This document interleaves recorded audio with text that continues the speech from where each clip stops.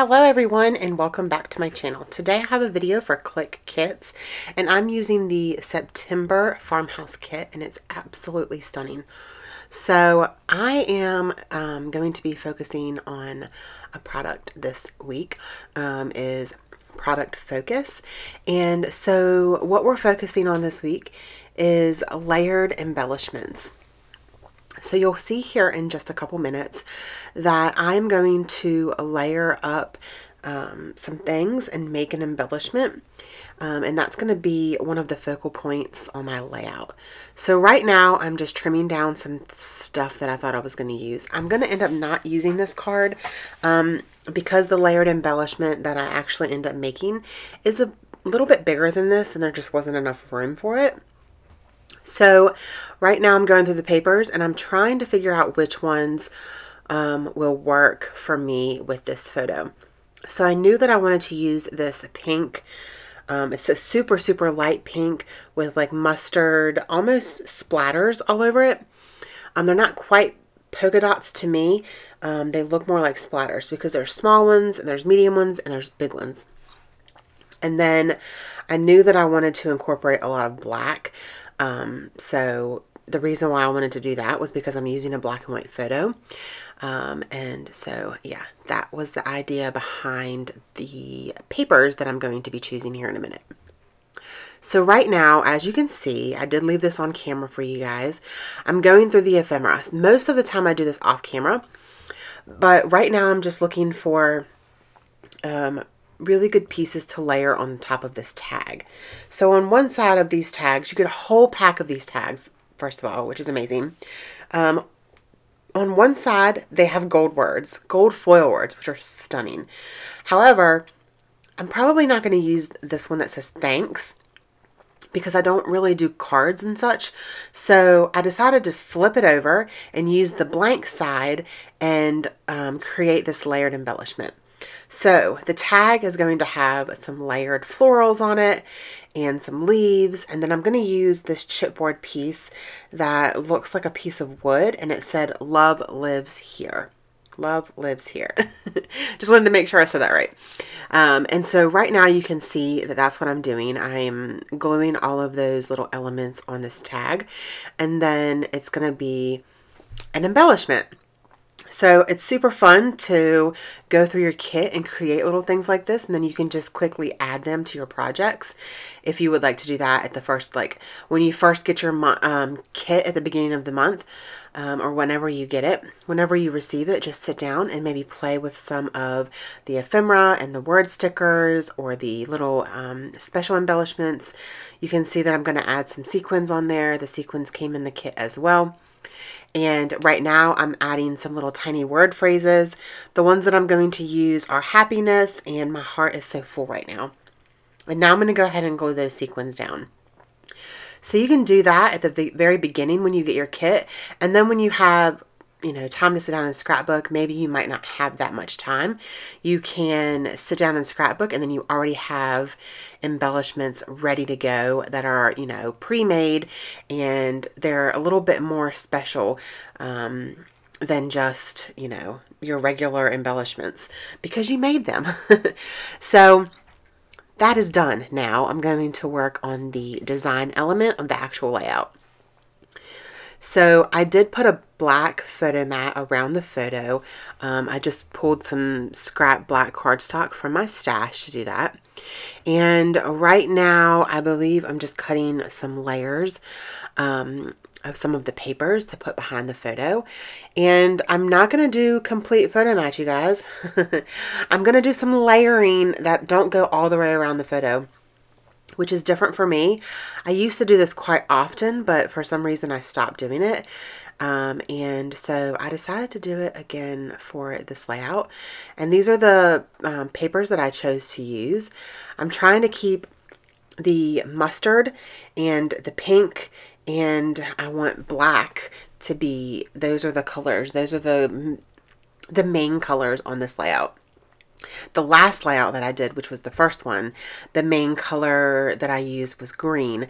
Um, and I kind of wanted to do something a little bit different. For this one. So I wanted to focus on the pink, the black, and the mustard. Those were the colors that I really, really wanted to focus on. So that's why I'm pulling out this um, paper that's black with white tiny polka dots on it. I added another layer behind the photo. And then I'm going to go flip that paper over and grab that cream and black stripe with gold polka dots. Um, you don't really see the black on that once it's layered behind my photo, but it just adds another layer behind the photo. So I am going to pull a piece of black cardstock from my stash as well um, to kind of matte that um, light pink with, um, what is that color? Mustard. I was about to say maroon. Mustard um, color splatters. And this is a tip for you guys. Um, sometimes I struggle. Sometimes I will put adhesive on the whole back side of it and then go to mat it and I don't get it straight. So just put adhesive down one side, get it straight, and then put the adhesive on the rest of the cardstock and smooth it out. Um, that really seems to help me get it even on all sides when you're matting a 12 by 12 paper. So now I just have to build around the photo and this embellishment.